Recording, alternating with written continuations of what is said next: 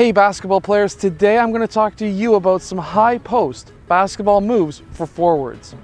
So as you know, forwards don't generally play in the high post anymore. They're more so likely to play out on the perimeter. However, there are a lot of plays where they can cut across, do a high cut across the free throw line. And at that point, they're going to get that ball. So today I'm going to be talking about those moves that you can use in the high post. So this first move that I'm going to show you is if you're already in the high post, you were already stationary and you just got that ball. You've done your pivot to the net and you see that you've got a defender on you. What are you able to do? Well, let's get down to this first move. So you've got that ball, you have pivoted towards the net, and now you've got yourself a defender. And you really want to attack that net because you know that this defender is more weak on defense than you are on offense, which is why you want to attack the net. So what we're going to do in this first move is to take one hard dribble over to our strong side or towards our weak side. It really doesn't matter. You can do this move either way. But we're going to take one hard dribble towards this side. We're now going to bring our left foot ahead of our right. We haven't stopped our dribble yet. I'm just holding on to it right now. And now we're gonna go and spin, dribble, and now we should have an open lane towards the left side of that basket. Now the same should be done on this side, where we can go one dribble, two, one, and then two steps and in for a layup. So this is what it's gonna look like in faster speed.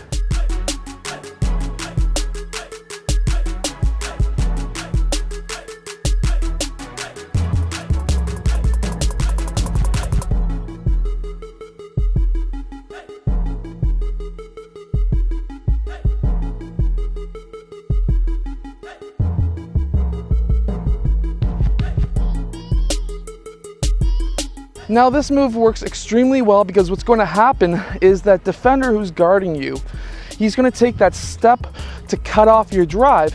You're going to spin around him.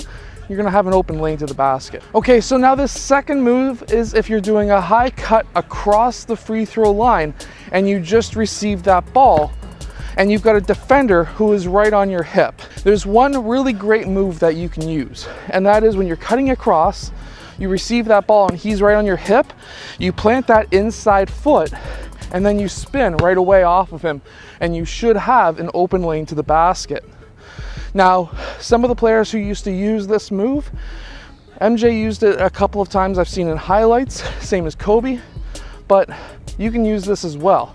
So all we're gonna do is doing a high cut across, receive that ball, plant that inside foot, turn, and then you've got an open lane to the basket.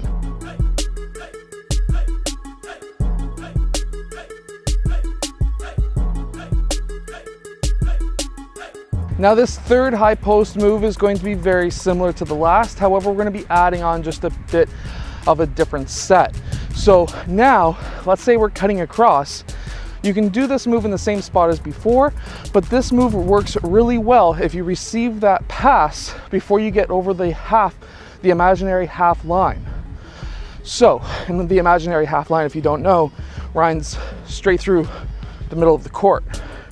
So, what we're gonna do in this move is if we catch that ball before that half, we're gonna turn, fake that shot, one dribble, step back, and then take our shot. This one has to be done before you get to that imaginary half line. If you do it past that imaginary half line, there's a chance of another defender coming in from possibly the player who passed the ball to you so keep that in mind, but it can still be done on that other side.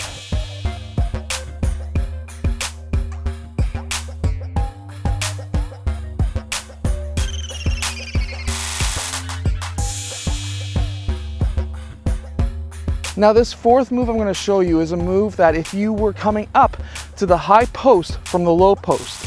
So if you were showing maybe, if you were running, if your team is running a three out two in offense, and you're trying to overload a zone and you're popping up to the high post and you receive that pass when you're in that high post. And you want to take a quick shot and maybe there's not much time left on the shot clock or whatever it may be. What you want to do you're sprinting up to that free throw line. You receive that ball you plant the foot on the inside to the basket. So if i'm coming up from this side That's going to be my right foot. I'm gonna turn, I'm gonna take my shot. Meanwhile, if I'm coming up from the right side and we're coming up, we wanna plant that left foot first, turn our body totally, and then kick our foot out to get balance and take that shot. I've mentioned this in a few other videos where when you're coming up and you're pivoting towards your weak side, so for me, my, that's my left side, we're pivoting over this way. We wanna kick that leg out when we take that shot because it's very similar to like the ice skaters where if your arms are close in, you spin really fast. But if your arms are out, you're gonna be spinning slowly. That works the same in basketball for your legs. So if you're trying to do a turnaround jumper, that's why you see a lot of the NBA players kick out their leg.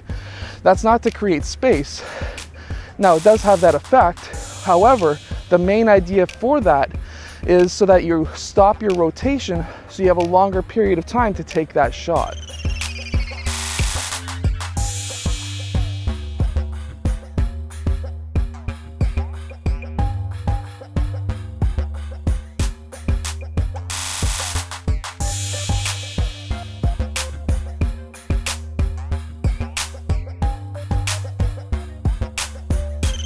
Now I hope that you've enjoyed today's video. I hope that these moves help you score more points from the high post.